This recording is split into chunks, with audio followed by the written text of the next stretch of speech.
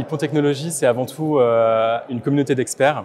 Euh, on est une société, euh, on travaille dans le monde du conseil en informatique et l'idée c'est de se positionner sur des projets à forte valeur ajoutée pour nos clients. l'idée c'est vraiment de délivrer un haut niveau de conseil sur des sujets de migration, de transformation, notamment autour des technologies cloud, alors de manière très agnostique, donc des technos publics et également des clouds souverains, et sur les technologies data, euh, c'est les valeurs qu'on va pousser aujourd'hui, euh, sur, notamment sur Strasbourg. Strasbourg, c'est la huitième agence du groupe.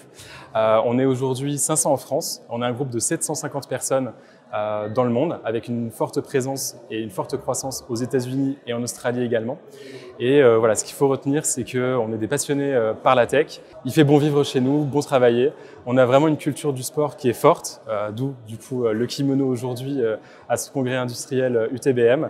Euh, en fait, l'idée, euh, c'est de promouvoir les valeurs du sport euh, au travers de, ce que l'on fait au quotidien. Alors aujourd'hui, on va chercher principalement des ingénieurs en informatique. on, va, cibler des personnes qui vont avoir des appétences pour la data, des appétences pour les technologies cloud, pour le développement.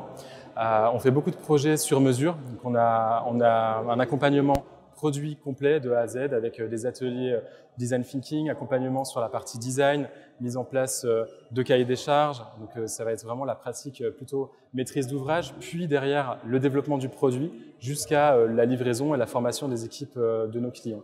Alors l'UTBM, c'est pour moi une école coup de cœur puisque j'ai fait le, le cycle en apprentissage UTBM en informatique. Donc euh, voilà, je, suis sorti en 2016 de cette école et c'est un petit peu un retour aux sources pour moi que de venir à, à Belfort euh, pour cet événement.